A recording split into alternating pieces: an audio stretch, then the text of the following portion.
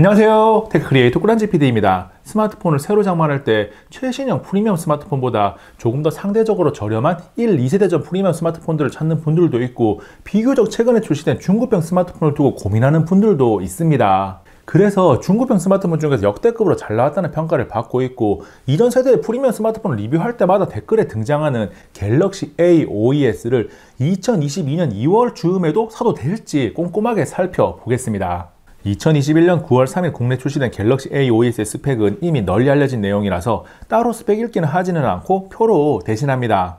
갤럭시 A52S는 59만 9,500원에 출시되었고 자급제 기준으로 2022년 2월 즈음에 50만원 정도에 구매할 수 있어요. 갤럭시 S22 출시 이후에 3, 4월 정도에 갤럭시 A53이 나온다는 이야기도 있는데 갤럭시 A52S의 AP 성능이 갤럭시 A52보다 월등하게 좋기 때문에 갤럭시 A53이 갤럭시 A52보다 더 좋게 나온다고 해도 갤럭시 A52S의 성능은 뛰어넘지는 못할 겁니다. 갤럭시 A53의 공개 시기가 얼마 남지 않았다고 해서 갤럭시 A52S의 구매를 망설일 필요는 없고 50만원 정도에서 살만한 제품인지를 판단하면 돼요. 갤럭시 A52S의 디자인은 전형적인 갤럭시 스마트폰의 모습을 가지고 있어서 왼쪽 상단에 카메라가 배치되어 있고 카메라 섬은 특별한 포인트 없이 후면 색상과 동일합니다. 제가 가지고 있는 모델은 Awesome Black인데 갤럭시 A52S의 세 가지 색상 중에 Awesome Violet이 좋은 평가와 함께 인기를 끌고 있어요. 플라스틱인 후면 커버는 촉감도 그렇고 겉보기에는 괜찮은데 표면을 눌러보면 울렁거림이 있어서 약간의 싼 티가 나고 지문이 잘 묻는 타입이라서 조금 아쉽습니다.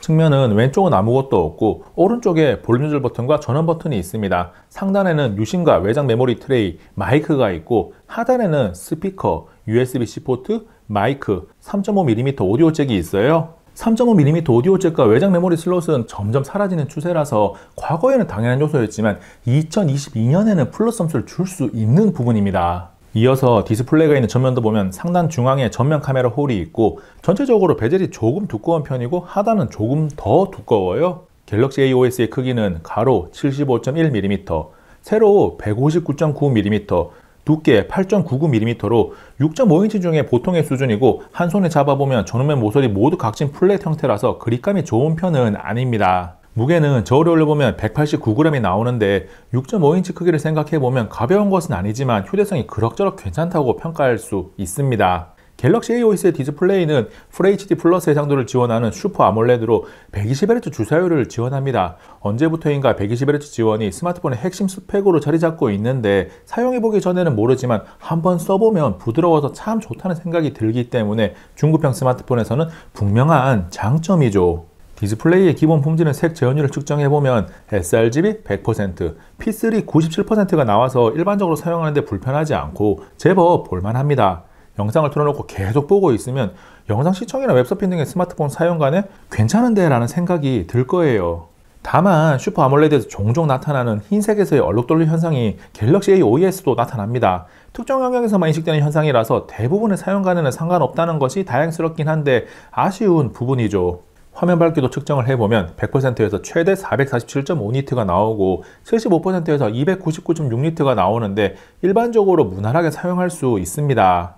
디스플레이여서 퍼포먼스는 스냅드래곤 778G AP가 만들어내는 성능이 상당히 훌륭합니다. 벤치마크 점수를 보면 긱벤치 5 single core 761점, multi core 2802점이 나오고 3D마크 와일드라이프가 2489점이 나오는데 2019년에 나왔던 최상급 AP 스냅드래곤 855와 비슷한 수준이에요. 중급형에서는 기본 퍼포먼스가 높은 편이기 때문에 throttling에 의한 성능 제한은 없는지 체크를 해보면 CPU의 성능 유지 확인을 위한 CPU throttling 테스트에서 82%의 안정성을 보여주고 GPU의 성능 유지를 체크할 수 있는 3D마크 와일드라이프 스트레스 테스트에서 98.9%의 안정성을 보여줍니다. CPU에서 throttling이 조금 걸리긴 하지만 성능 유지가 괜찮은 편이라서 발열이 괜찮은지도 throttling 테스트 간에 체크를 했는데 전면 디스플레이가 최고 36도 정도가 나오고 후면 최고 온도가 38도대가 나와요.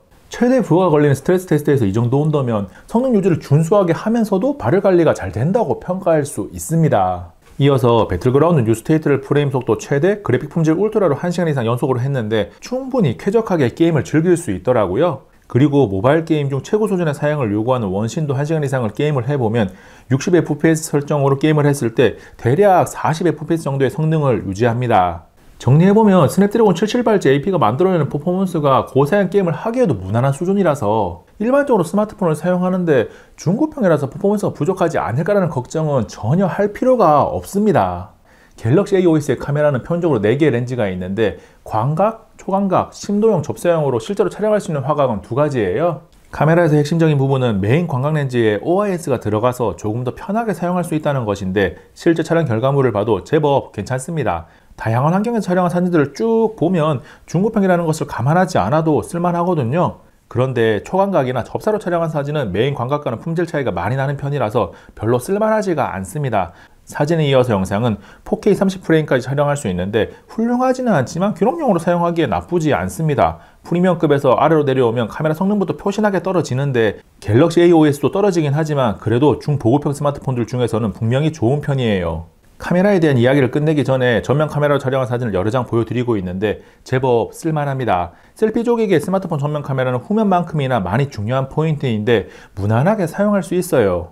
갤럭시 A5S는 4500mAh 배터리를 탑재하고 있고 25W 고속 충전을 지원합니다. 다만 무선 충전이 안 되는 점이나 기본 포함된 어댑터가 15W짜리라서 25W를 온전하게 사용할 수 없는 점은 아쉬워요. 오디오는 스테레오 스피커를 탑재하고 있기는 하지만 9세만 갖췄다 정도로 음질이 그다지 훌륭하지는 않습니다. 물론 모노 스피커를 탑재한 스마트폰들보다는 당연히 좋아요. 그리고 3.5mm 오디오 잭이 있으니까 유선 이어폰이나 유선 헤드폰을 좋아하는 분들에게는 어필할 수 있는 매력 포인트입니다. 혹시나 꼭 필요한데 빠진 센서는 없는지 체크를 해보면 필수 센서는 다 있다고 표시가 되는데 통화를 할 때 화면을 자동으로 끄는데 주로 사용하는 근접 센서는 물리적으로 없고 가상 근접 sensing을 사용해요. 그리고 보안을 위한 on-screen 광학식 지문 인식은 반응 속도가 엄청 빠르지는 않지만 인식이 잘 되고 사용하는데 불편함은 없습니다. 지금까지 언급하지 않은 그밖 요소들을 빠르게 정리해보면 삼성페이는 지원하지만 DeX는 지원하지 않고 중급형에서 보기 드문 IP67 방수 방진에 와이파이 6를 지원합니다. 그리고 메모리는 6기가 램에 128기가 저장 용량으로 단일 옵션이고 OS는 안드로이드 12 One UI 4.0으로 업그레이드 되었어요. 2021년 9월에 출시된 갤럭시 A52S를 2022년 2월에 사도 될지 자세하게 살펴봤는데 여전히 사도 괜찮은 중급형 스마트폰입니다. OIS 카메라, 120Hz 주사율, IP67 방수 방진 등이 기본으로 받쳐주는 가운데 스냅드래곤 778G AP가 만드는 좋은 퍼포먼스와 발열 관리까지 더해서 참 괜찮은 중급형 스마트폰이 나왔다는 판단은 6개월여가 지난 지금도 변함이 없어요. 물론 무선 충전과 DeX를 지원하지 않고 메인 광각 이외에 다른 카메라를 사용하기 힘들다는 문제를 가지고 있어서 모든 것을 만족할 수 없는 가격대임을 감안하고 본인의 사용 패턴을 고려해서 선택을 해야 합니다. 이번 영상은 여기까지. 다음에 또 만나요. 안녕. 잠시만요. 여기 있는 이 꿀단지 한번 눌러주세요. 꿀단지 PD를 구독하고 영상을 계속 받아볼 수 있습니다. 생각보다 더 재미있고 흥미롭고 정보가 가득하거든요. 여기는 이 영상 정보를 정말 많이 담은 영상이고요. 여기는 이 영상 최신 영상인데 재밌어요. 역시나 정보도 엄청 많이 담았습니다. 시간 날 때 두 번씩 봐주세요.